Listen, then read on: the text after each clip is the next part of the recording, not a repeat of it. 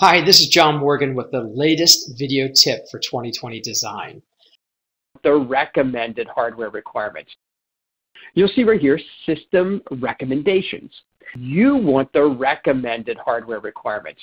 You want to make sure that you have a processor that's an Intel uh, quad-core i7 or higher. You want to make sure your system memory is at least 8 gig.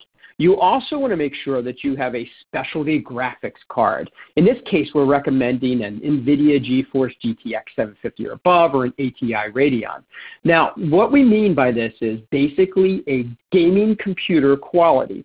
Um, if you'll come down here and take a look, this is a laptop I'm using. I have a quad-core i7. I have 16 gig of RAM, all right?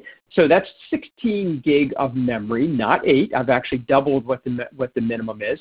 I have a 1 terabyte solid state drive, and I'm using the NVIDIA GeForce GTX 960. The recommended was 750 or better. Now let's take a look at one other thing, and this is a recommendation that I can make for you on your computer.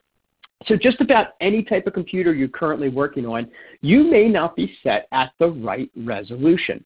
And by resolution, I mean your general settings for your resolution for your screen. So I'm going to come down here to the bottom of my screen. I'm going to say, let's move over to the desktop. If you want to go in and check your screen resolution, simply right click on the screen, click on it, come down to display setting, and when you click on display setting, you'll see an option here right in the middle called resolution. If you click on resolution, it will give you a listing or show you the possible resolutions for your computer. What I recommend you do is take it to the maximum.